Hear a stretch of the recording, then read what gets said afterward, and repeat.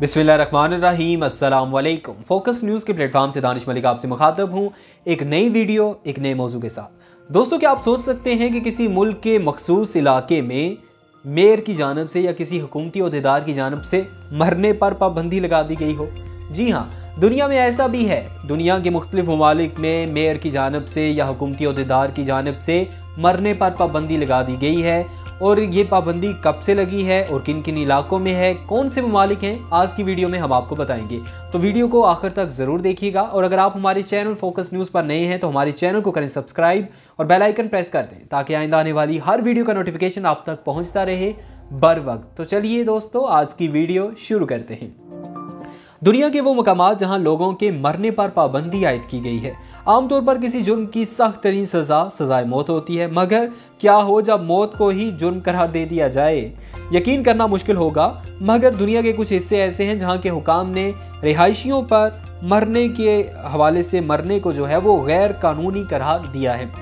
मगर इसकी सज़ा क्या है? दर हकीकत कोई सज़ा नहीं, क्योंकि जो फ़र्द दुनिया से गुजर जाए, उसे क्या सज़ा दी जा सकती है?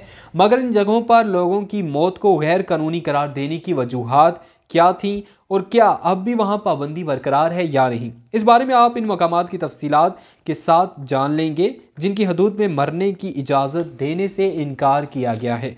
तो दोस्तों, सबसे पहला जो ज़िक्र करेंगे हम, वो है सीलिया का इलाका, जो कि इटली में है। अगस्त 2015 में जनूबी इटली के इस कस्बे के मेयर ने हुक्म जारी किया था कि यहाँ के रहायशियों को बीमार होने और मरने की इजाज़त नहीं। चंद सौ अफराद की आबादी पर मुश्तमिल इस कस्बे में ज़्यादातर की उम्र पैंसठ साल से जायद है और मेयर के मुताबिक इनकी मौत दर हकीकत कस्बे की हलाकत है।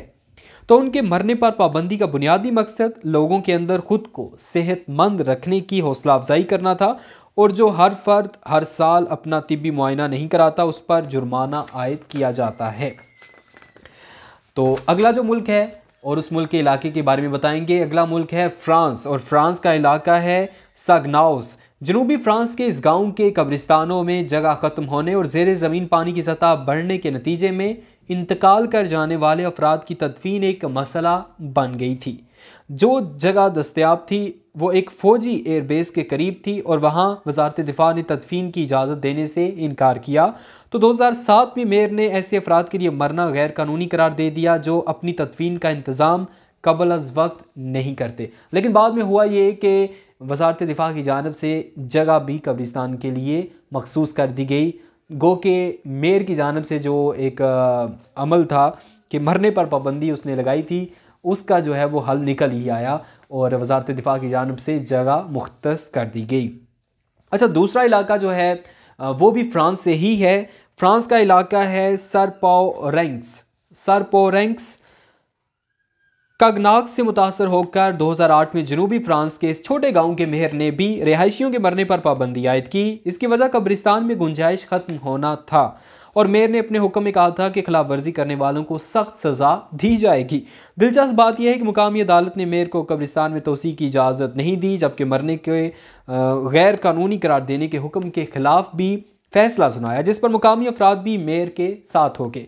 मेयर और लोगों के एहतजाज के बावजूद कोई फ़ायदा नहीं हुआ और अब भी वहाँ मरने पर पाबंदी आयद है। वहाँ किसी फ़र्द को मरने की इजाज़त उसी वक्त होती है जब उसने कब्रिस्तान में पहले से जगह हासिल की हो, वरना किसी और जगह का रुख करना पड़ता है।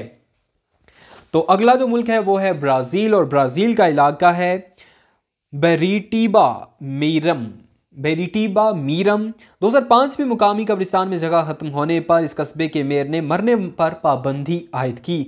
साओ पावलो के करीब वाक़ इस कस्बे के कब्रिस्तान में पचास हज़ार कब्रों की गुंजाइश ख़त्म होने के बाद मेयर ने यह कानून नाफज किया।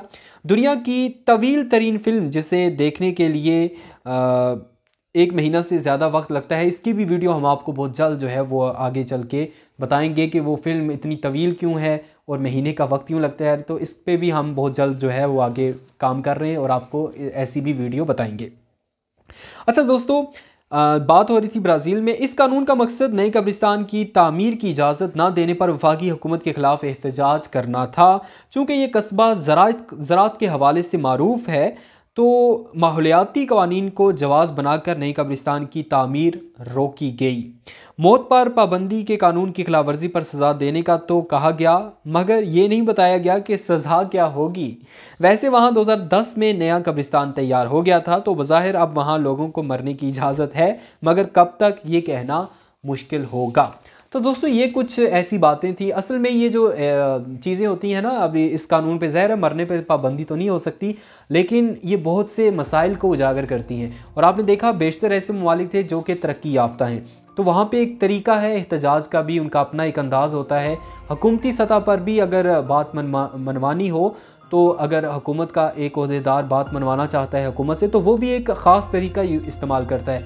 अब उसने मरने पर पाबंदी लगा दी है जिस तरह हमने मुख्तु जगहों पर बताया, जैसे ब्राज़ील के इलाके में जब मेयर ने पाबंदी लगाई तो फिर हुकूमत को भी हुआ कि ये कब्रिस्तान में जगह ना होने की वजह से तो उन्होंने कब्रिस्तान के लिए जगह दे दी। इसके अलावा एक और भी जगह हमने आप ज़िक्र किया था, जहाँ पर फ्रांस का इलाका है कगनास, वहाँ पर वजारत दिफा ने फिर जगह दे दी। कब्रिस्तान के लिए। तो ये तरीका होता है एक ख़ास अंदाज में एहतजाज करने का।